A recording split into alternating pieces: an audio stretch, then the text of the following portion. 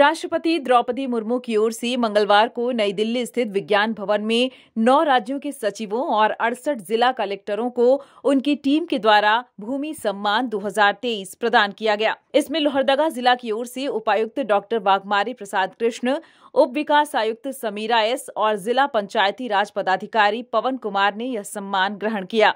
सम्मान के रूप में प्लैटिनम ग्रेडिंग सर्टिफिकेट प्रदान किया गया। जिला को यह सम्मान डिजिटल इंडिया भूमि अभिलेख आधुनिकीकरण कार्यक्रम एमपी में 100 फ़ीसदी पूर्णता हासिल करने के लिए दिया गया है। लोहरदगा जिला समेत झारखंड राज्य के कुल नौ जिलों को यह सम्मान मिला है।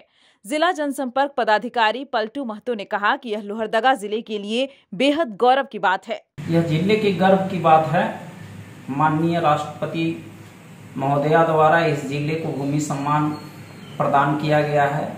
इसके लिए ज़िले के सभी नागरिकों को गर्व होना चाहिए और इस ज़िले के तमाम पदाधिकारियों को इस गर्व का एहसास होनी चाहिए कि इस ज़िले को पब्लिक के लिए सुविधा भूमि ऑनलाइन होने के उपलक्ष्य में प्राप्त हुआ है। यह गौरव की बात है। न्यूज़ विंग के लिए लोहरदगा से प्रीतम की report. Tufcon X T six hundred H C R T M T Riva. पहले भी बोला था, अगर घर को बनाना है एक्स्ट्रा टफ तो आप भी दिखा सकते हैं अपनी हीरोपंती, टफकॉन एक्सटी के साथ।